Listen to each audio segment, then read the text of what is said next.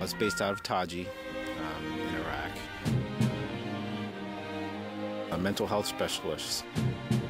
Part of my duty there was mental health intakes for soldiers, give classes. Coming home, and it's now you got a whole different range of stress. It was pretty stressful being a single mom for a year. We developed quite a bond, which was stressful when he got back, trying to transition him back into our relationship. Years spent apart is a huge difference. Everyone's going to be changed that's been involved. It's sometimes it's just a matter of time, sometimes it's just talking things out. Guys, we, you know, we don't uh, tend to say how we feel. It's nice for everyone to get together and bounce their feelings and ideas off each other. You kind of think that what you're going through is something that no one else is going through. Then you get together and you're like, wow, we're completely normal.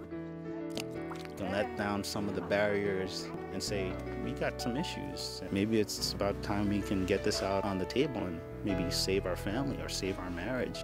It's awesome. All these volunteers and all these people that are here just for us, for our well-being and our happiness, and it feels really good. Lions changed my life through Project New Hope. Words can't express the gratitude I have for Lions Club International, Bruce Billington, and the volunteers from District 5M9 at Project New Hope who made this all possible.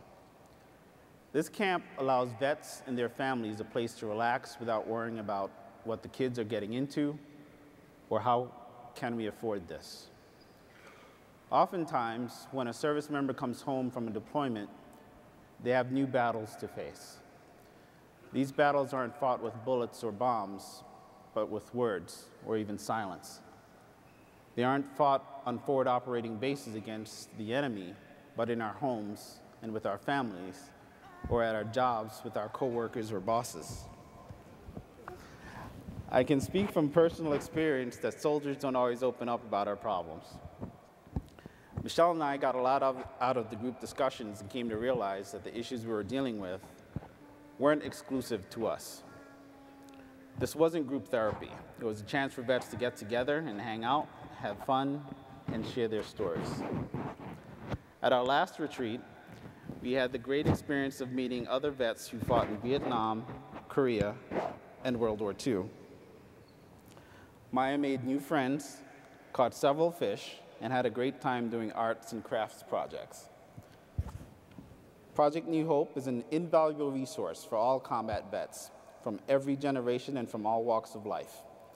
The impact that Project New Hope has is tremendous, and it is imperative that vets in all 50 states and all Canadian provinces have access to this retreat. Thank you.